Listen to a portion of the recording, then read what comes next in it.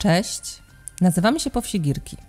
Naszą pasją są podróże motocyklowe i każdego roku wyruszamy w kilka krótszych i dłuższych wypraw motocyklowych. Cześć. Cześć. Trwają właśnie przygotowania do naszego tegorocznego wyjazdu na moto do Szwajcarii. E, No i właśnie zastanawiamy się jak co roku, co by tutaj wymienić, co może zamienić, jak się przygotować, żeby ta podróż była jeszcze bardziej e, bezpieczna i jak najbardziej funkcjonalna. No nie, żebyśmy robili to na siłę, no ale czasami niektóre rzeczy trzeba wymienić, nie? Tak, no niektóre rzeczy też się wysługują, y, no i niestety trzeba, trzeba pomyśleć o nowych. E, W tym roku padła decyzja, że e, dobrze by było wymienić nasze uchwyty motocyklowe.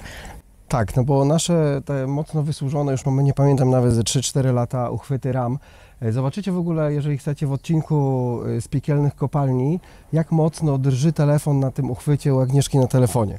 Także to tym bardziej nas przekonało do tego, że już czas na zmianę. Tak, tym bardziej, że dobre uchwyty akurat są bardzo ważne. Po pierwsze dlatego, że my często jednak wyciągamy z uchwytu telefon, robiąc zdjęcia e, podczas jazdy, no ale też często spoglądamy, żeby e, zobaczyć w jakim kierunku trzeba jechać, a więc to musi też być e, bezpieczne i dla telefonu, no i oczywiście też dla nas. Tak, a w- kwestii bezpieczeństwa to nasłuchaliśmy się sporo opinii, między innymi od Was, że w przypadku niektórych telefonów, w momencie, gdy nie ma się odpowiedniego uchwytu, e, który niweluje drgania tak naprawdę silnika, które się przenoszą na kierownicę, to może ulec uszkodzeniu optyka telefonu. No więc jeszcze po konsultacji w różnych miejscach rzeczywiście doszliśmy do wniosku, trudno, trzeba trochę więcej wydać, ale kupić lepszy uchwyt, żeby za chwilę nie wyrzucić telefonu za parę tysięcy. Tak, których tak, też nam by było bardzo szkoda. No dobra, ale słuchajcie, yy, to co dalej? No nie wiem, no często mm, myślę, że padają też takie pytania, dlaczego nie korzystamy z takich nawigacji typowo dedykowanych y, motocyklistom. Yy, To może tak, z nawigacji dedykowanych motocyklistom korzystamy, ale mam tu na myśli software, a nie osprzęt. Dlaczego tak mówię? Bo nawet mieliśmy okazję przetestować tego typu nawigację, bo z oto cudowną Afryczką, którą jeszcze się nie nacieszyłem do końca, yy, kupiłem, no bo Niemiec jak, płak- jak, płakał jak sprzedawał, kupiłem e, nawigację Garmina. Ona była razem, razem z motocyklem i trochę na niej pojeździłem. I jakby z mojego punktu widzenia e, kwestia używalności tego, może jest fajna taka nawigacja, może i ona na wszystkie warunki atmosferyczne, ale obecne telefony już też są na wszystkie warunki atmosferyczne.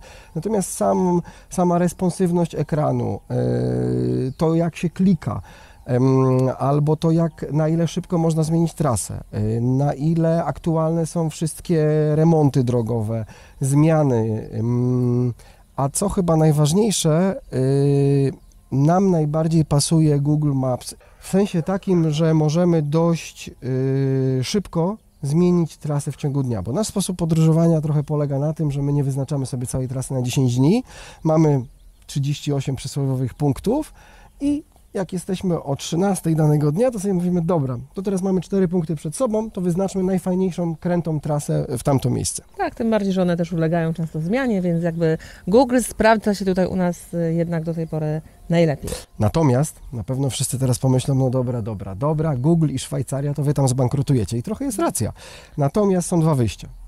E, Wyjście numer jeden, ściągniemy sobie offline'ową część map Google'a e, Nieraz tak robiliśmy i i działało. I będziemy z tego korzystać. A drugie wyjście, my korzystamy z y, TomToma w wersji aplikacji na telefon, która jeżeli chcecie, żeby działała offline'owo, no to trzeba około 60 zł rocznie zapłacić. nie E, jest to majątek. Tak, więc mamy tego typu dwa, dwa rozwiązania. A jednak to, co Ty powiedziałaś, mamy uchwyt, z którego ciach, ciach, zdejmujemy telefon, w sekundę robimy zdjęcie, zakładamy, dalej korzystamy z nawigacji, jedziemy. I my Wam to dzisiaj pokażemy. W związku z tym, że słyszałam wcześniej już o tym, że Dawid robił y, takie pierwsze Podchody. podchody właśnie do, do uchwytów, byłam pierwsza. Wie- Y, Wiecie, jak to jest z tymi wydatkami, nie? Trzeba grunt y, przygotować, nawet jeżeli są mniejsze, ale i tak grunt dobrze zawsze mieć Znaczy przygotowany. mężczyźni, no nie, y, jeżeli chodzi o fatałaszki, no to to nie jest dla nich priorytet, więc co to za niespodzianka. Stwierdziłam, że fajnym prezentem będzie właśnie to, co najbardziej lubi, czyli, y, czyli ubiory do motocykla. Także mm, kupiłam mu w prezencie SP Connect i od tego zaczęliśmy. Tak. E, Ja tylko powiem jeszcze dwa zdania. Ten SP Connect z mocowaniem na kierownicę, ale on też ma oczywiście mocowanie na pałąk. E, I od tego zaczęliśmy, nie? Mhm. E, I to jest jeden z uchwytów. Natomiast później ja się tak zacząłem zastanawiać, mówię, kurczę, ale właściwie Potrzebujemy dwa. tak, potrzebujemy dwa, więc albo weźmiemy drugi SP Connect i to oczywiście ma swoje ogromne y, zalety, bo bez problemu możemy przekładać telefony pomiędzy motocyklami, Tak, ale drugiego ty nie kupiłeś mi w prezencie. Y, ale można powiedzieć, że w prezencie, zaraz, zaraz powiem dlaczego. Natomiast y, i, to ma duże zalety właśnie, że można przekładać te, te, te uchwyty pomiędzy motocyklami, czy nawet same telefony w etui. Natomiast, ale mówię sobie nie. Ta moja żyłka chęci sprawdzenia pewnych rzeczy jest taka, że i się dość często naoglądałem pewnych reklam w internecie, e, że stwierdziliśmy, ok, drugi bierzemy inny, tym razem wybór padł na Quadlocka. A że przy okazji e, otrzymaliśmy go, bo skontaktowałem się z naszym zaprzyjaźnionym sklepem e, Mototour, E, I przy okazji otrzymaliśmy go również od nich do testów, za, za co serdecznie e, dziękujemy. Więc będziecie mieli dzisiaj okazję zobaczyć z jednej strony sposób montażu, zestawy, też i ceny, zarówno SP Connect, jak i, jak i Quadlock. No i oczywiście, jak zawsze, w, Wybór będzie należał do Was. dokładnie. Także zapraszamy i idziemy w szczegóły. Zapraszamy. Dobrze, słuchajcie, jeżeli chodzi o oba zestawy, y, już mamy rozpakowany Spakonek, bo tak jak wspominaliśmy, on wcześniej był, był zakupiony, a tu jeszcze nie rozpakowany Quadlock, ale tylko dlatego, że musiałem Wam pokazać, jak to jest rewelacyjnie zapakowane. Ja, ja wiem, że tutaj ktoś powie, a jara się opakowaniem, ale naprawdę zrobili to świetnie. Za chwilę. Jeżeli chodzi o w ogóle oba zestawy, y, to mamy w nich oczywiście etui na, y, na telefony, sam jakby uchwyt jeden i drugi, no bo one muszą mieć pewne elementy mocujące, na, tak jak wspomniałem, wybraliśmy na kierownicę SP Connect i na pałąk e, na, e, u góry e, Quadlocka. Tutaj, tutaj jest ten element na pałąk. Tak, chcesz pokazać? Dobra. E, Ale oczywiście jeden i drugi ma możliwość zamocowania w jednym i w drugim, e, i w drugim miejscu. E, No i sprytnie zapadła też decyzja, że po prostu Aguś weźmie SP Connect na kierownicę, a ja wezmę Quadlocka, ale z jednego powodu, e, bo to głównie ja nawiguję, a nawigacja dla mnie powinna być w ten sposób, pokazując gdzie jadę, tam widzę, w którą stronę jadę. A no nie chcieliśmy już do SP Connect jeszcze dodatkowo brać mocowania na pałąk, skoro już mamy mocowanie na kierownicę, a Aguś nie nawiguje, więc jej spokojnie wystarczy ym, mocowanie na kierownicę, prawda? Przeszydziłeś mi? Przecież to ty mi kupiłeś SP Connect. Dobrze. I jeszcze jedna rzecz. W obu zestawach, tutaj macie już rozpakowany SP Connect, jest y, tak zwany pochłaniacz antywibracyjny y, do właśnie drgań y, motocykla. On tutaj, ten akurat jest zrobiony w ten sposób, że to jest taka guma, która pochłania te, te wibracje i taka gąbeczka z góry. E, I to wszystko jest w zestawie. Natomiast jeżeli chodzi o Quadlocka, aha, jeszcze jedna różnica, słuchajcie. Tu w Quadlocku zauważycie, że mamy nawiga- ładowarkę indukcyjną, a w przypadku y, SP Connect jej nie mamy. Dlaczego? Dlatego, że mamy telefony, y, iPhony, ja mam 12 Pro, Agnieszka ma 13 Pro i niestety, ale to trzeba doczytać, bo małym druczkiem jest gwiazdka, SP Connect od 12 Pro w górę, czyli od momentu jak em, występują w nich ładowania indukcyjne em, MagSafe, nie wspiera tego ładowania. Dlatego w przypadku SP Connect ładować będziemy normalnie kabelkiem, a w przypadku Quadlocka e, będziemy ładować ładowarką e, indukcyjną. I teraz słuchajcie, jeżeli chodzi o sposób otwierania. Pierwszy na tym kanale unboxing, bo tego jeszcze nie było. E, Znaczy w ogóle fajnie zrobione. ja muszę się wtrącić. Po prostu Dawid uwielbia pudełeczka, także wszystkie sprzęty, które kupujemy, to on otwiera. Uwielbia to zajęcie. pod warunkiem, że są fajne m, pudełeczka. E, natomiast jeżeli chodzi o ten e, chociażby e, ładowarkę indukcyjną, przycinacie, słuchajcie, jest, jest napisane, żeby pociągnąć w tym miejscu, pięknie się otwiera, nie trzeba walczyć z pudełkiem, nic się nie dzieje. E, bardzo ładnie w środku wszystko, wszystko pochowane. Tu mamy ładowarkę indukcyjną, ale co jest fajne, słuchajcie, jeden kabelek kątowy e, na USB-C, drugi kabelek prosty, jest jeszcze trzeci kabelek, e, prosty, długi, ale to jeszcze nic. Brakuje Wam trytek do montażu albo imbusa? Wszystko jest w zestawie. I oczywiście, mówiąc uczciwie, również w SP Connect. Wszystko do montażu jest w zestawie. Generalnie nie potrzebujecie nic Oprócz tego, co kupicie razem, e, razem ze sprzętem. Y, Druga jeszcze tylko rzecz, y, tutaj widzieliście ten antywibracyjny od SP Connect, to jeszcze tylko pokażemy, bo to jest ten element tak bardzo ważny tak naprawdę. Anty, antywibracyjny od Quadlocka. On jest troszeczkę inaczej. Oczywiście w każdym z tych, zobaczcie, elementów jest tutaj jest również imbus. Y, Natomiast on działa trochę na innej zasadzie, bo on w tych miejscach, y, w trzech punktach pochłania wibracje. Y, Ja myślę, że zaczynamy montaż. Najpierw musimy zdemontować nasz RAM, potem zamontujemy SP Connect, a na końcu Quadlocka. Czy pani asystentka będzie ci potrzebna? Bo jeżeli tak, to ja się melduję na stanowisku. E, No będzie, oczywiście. No to działamy.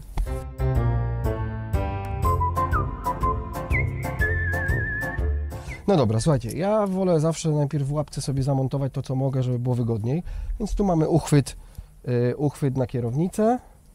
Do tego zakładamy ramię, które ma takie ząbki, dzięki którym ustawimy sobie kąt ym, tego ramienia. Dlatego nie dokręcam mocno, tak tylko, żeby złapać.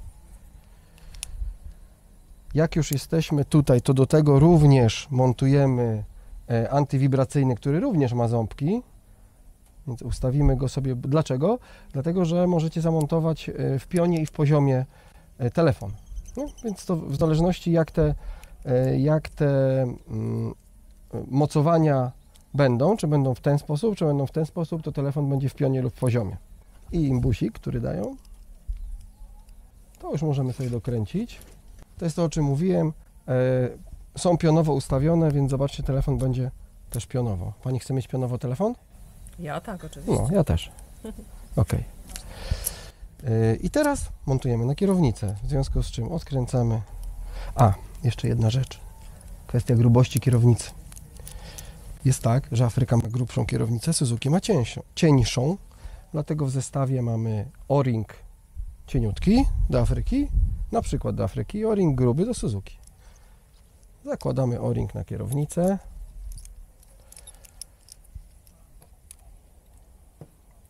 Zakładamy nasze mocowanie. Cyk. Wkręcamy śrubkę i za chwilę będziemy wszystko regulować. Bo na razie to mamy tylko coś tam powkręcane, nie? Dobra. No i okej, mamy wstępnie ustawione na kierownicy, natomiast wiecie, pytam Aguś, gdzie ona by chciała mieć ten telefon, w jaki sposób, w związku z czym biorę sobie etui, yy, zakładam na uchwyt, no i teraz no wiadomo, że w ten sposób nie chcę mieć tego telefonu. Powiedziała, że chce mieć z boku, żeby nie było za blisko do kierowcy i za daleko tam do sprzętów, ale jednocześnie pod kątem. No więc dopiero reguluję te trzy elementy, patrzę, czy w ten sposób będzie ok. Jak? Okej, Ok. może być. No to dopiero teraz dokręcam resztę. Ale widzisz, jeszcze jedną rzecz. Jest kłopot ze zdejmowaniem, ale być może tylko w tą stronę. Zaraz sprawdzimy. Więc słuchajcie, dobrze to od razu zrobić w momencie, gdy mamy wszystko. Patrzcie, jak zdejmuję. A, i słuchajcie, no to już prosta rzecz, nie? Przesuńmy kawałek w tą stronę. I już nie będzie haczyło tutaj o kierownicę. O! Zaraz zobaczymy, czy pani będzie teraz zadowolona. Jak? Tak, proszę pani? Pani dopiero będzie zadowolona, jak przetestuje. Dobrze. Mamy wstępnie ustawione. Okręcamy śrubki mamy wszystko gotowe, słuchajcie. No dobra, mamy zamontowane, sprawdzamy. Wszystko działa. I wiecie, właśnie o to chodzi. Stajemy sobie gdzieś, mamy nawet nawigację uruchomioną. Jednym ruchem zdejmuję telefon, robię pięknej pani zdjęcie, zakładam telefon i jadę dalej. No dobra, teraz kwestia Afryki. Oczywiście e, ja chcę zamontować sobie tutaj na tym, e, na tym pałąku, bo jak jadę, to po prostu dobrze widzę drogę i jednocześnie nawigację, ale żeby się nie bawić, nie wiem nawet, czy byłby dostęp, żeby się nie bawić jakoś mocno, trzeba zdemontować szybkę. Więc 6 śrubek, minuta. Pierwszy element to jest oczywiście ten, który mocujemy tutaj bezpośrednio do pałąka i on również w zestawie na takiej ładnej tubeczce ma 14 mm, 12 i 10 mm, więc w zależności od grubości tej rurki. Zaraz montujemy.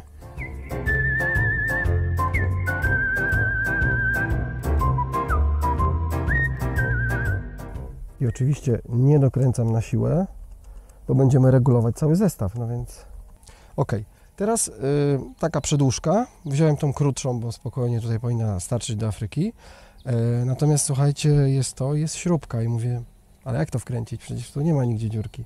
A spryciarze zrobili tak, że jak przekręcicie kulkę, to w kulce jest dziurka, żeby wkręcić śrubę. Ale tak jak wcześniej też powiedziałem, e, to od razu też będzie się tutaj e, zakrywało nam te dwie śrubki, więc na razie tylko e, montujemy montujemy tak, żeby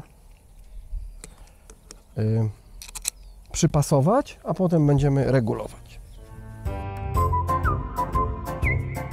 Oczywiście e, w każdym zestawie, albo w każdym elemencie jest instrukcja do niego i tutaj słuchajcie, bo się zacząłem zastanawiać, czy najpierw pochłaniające drgania, czy najpierw indukcyjne, no ale przecież najpierw musi pochłaniać drgania, a potem dopiero ładować, no jak? E, I to jest wszystko ładnie roz- rozrysowane, że mamy indukcję pochłaniające drgania i mocujemy do naszego uchwytu. No więc do dzieła. Aha, i jeszcze zacząłem tutaj też szukać śrubki. Śrubka jest z tyłu, a tutaj pomimo tego, że jest gwint, do środka jest imbusik idealnie pasujący, który mocujemy właśnie tutaj. I na koniec ładowarka indukcyjna z takim tutaj plastikowym elementem, który będzie nam potem blokował otwieranie się.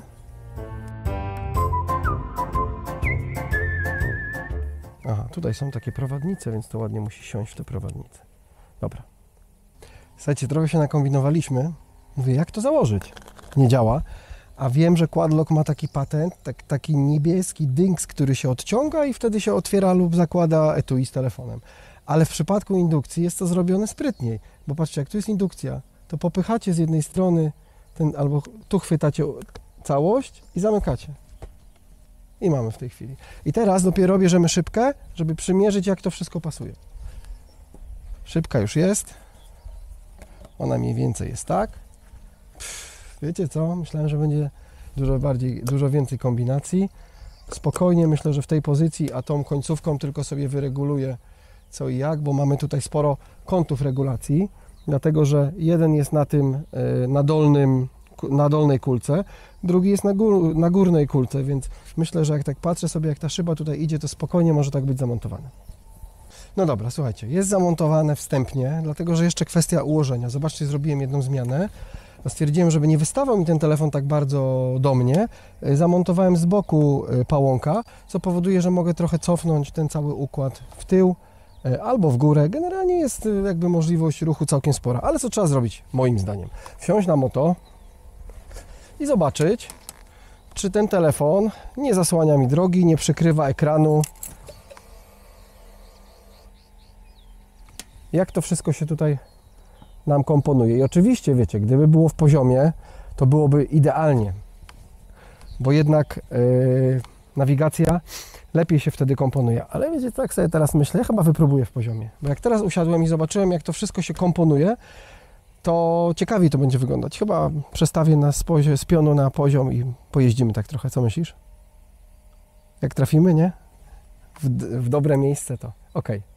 No to robimy jeszcze finalny test, czy i ładowanie indukcyjne ładuje telefon. Ładuje. Proszę bardzo. Wiecie co, jest jeszcze jedna różnica pomiędzy ym, Quadlockiem a SP Connectem.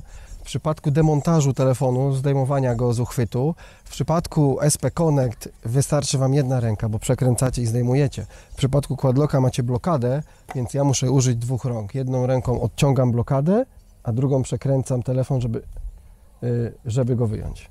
Nie? Także to jest ta różnica. Natomiast na plus Quadlocka jest to, że zobaczcie, y, niezależnie, bez użycia narzędzi, telefon może być w pionie lub poziomie i jest zawsze zablokowany. W przypadku SP Connect musicie użyć y, ym, imbusa, żeby przekręcić te dwa, te dwa pionowe, bl- te, dwie, te dwie pionowe blokady. No dobra, to zestaw mamy gotowy. Zobaczcie, jak, jak to wszystko tutaj sobie wibruje. To fajnie widać na tych pochłaniaczach wibracji trzech tutaj, jak to sobie idzie tu. To ma właśnie spowodować, że optyka nam nie trzaśnie w telefonie. No dobrze, to na koniec wypada jeszcze powiedzieć e, o cenach, bo już całą resztę widzieliście. Mm, e, To jest tak, że oba zestawy są trochę różne, w związku z czym e, mówiąc o cenie, próbowaliśmy wycenić, ile kosztowałby dokładnie taki sam zestaw, czyli uchwyt na pałąk tudzież na lusterko, zależy który, który się wybierze. Ładowanie indukcyjne, moduł antywibracyjny mm, i etui do telefonu. Taki zestaw w przypadku SP Connect to jest 680 zł, e, w przypadku Quadlocka 752 w tej chwili. Zwracam tylko uwagę w kwestii ładowania indukcyjnego. Ono jest nawet troszeczkę inaczej opisane, bo w przypadku SP Connect to jest e, ładowarka odporna na warunki atmosferyczne, a w przypadku Quadlocka ładowarka przeciwdeszczowa. E, Także to też musicie oczywiście jeszcze sami zbadać. Generalnie koszty nie są małe, ale jeżeli chodzi o oba modele są dość zbliżone. No ale wiecie, my chcemy zadbać o telefon, więc stwierdziliśmy, że e, zainwestujemy. No to nam pozostaje w takim razie już tylko przetestować obydwa uchwyty. Y, Na pewno będziemy wypowiadać się y, na ich temat podczas naszej najbliższej wyprawy do Szwajcarii. Także śledźcie odcinki, tam się dowiecie, jaka jest nasza opinia. Oczywiście wybór pozostawiamy Wam, co wybierzecie.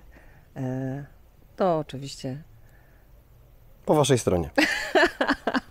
dokładnie. Dobrze. E, to co? Do zobaczenia na trasie? Do zobaczenia na trasie. Na razie. Hej.